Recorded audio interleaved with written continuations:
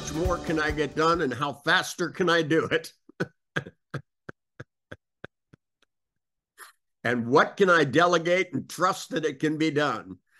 Um, you know, I recently talked to an entrepreneur that was hesitant about hiring salespeople because he had done all the sales himself.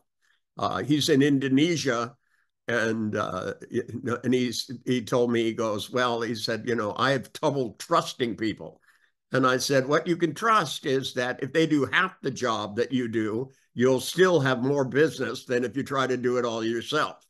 So you have to find people that are good at selling something that costs less, right? So that when they go to work for you, they make higher commissions and become more motivated. And you have to teach them the techniques that work for selling. Uh, and especially in this case, because he's teaching sales training programs, you should be able to train a sales staff staff. It's almost oxymoron in that situation.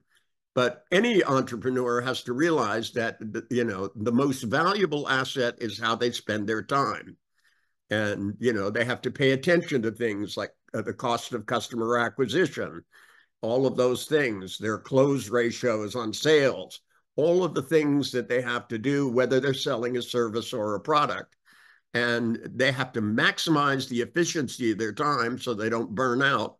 But you want to run your own company, you're going to have to work hard, put your nose to the grindstone, and make sure everybody else does as well.